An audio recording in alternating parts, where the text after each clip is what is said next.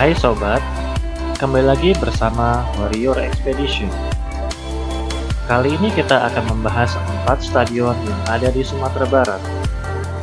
Inilah berikut ulasan stadion yang kami rangkum versi Warrior Expedition. Number one. Stadion Damasraya berlokasi di Jalan Sumatera Kota Baru Damasraya, Sumatera Barat.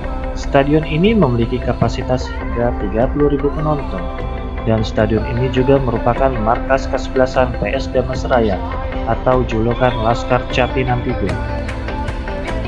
Number two. Stadion Muhammad Yamin berlokasi di Jalan Muaro, Kabupaten Sijunjung, Sumatera Barat. Stadion ini memiliki kapasitas hingga 10.000 penonton dan stadion ini merupakan markas kesebelasan Persiju atau dikenal Persiju Sijunjung. Number three. Stadion Haji Agus Salim berlokasi di Jalan Siak Rampo Kaulang, Kota Padang. Dibangun pada tahun 1983 dan selesai pada tahun 1985. Stadion ini memiliki kapasitas hingga 20.000 penonton dan stadion ini merupakan markas kesebelasan Semen Padang FC dan Minangkabau FC. Number four. Stadion Utama Sumatera Barat berlokasi di Jalan Lubuk Alung, Kota Padang Pariaman, Sumatera Barat. Stadion ini rencananya akan menampung hingga 50.000 penonton.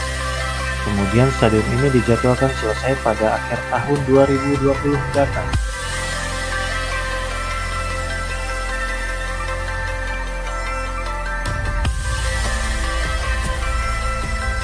Demikianlah informasi tentang empat stadion yang ada di Sumatera Barat.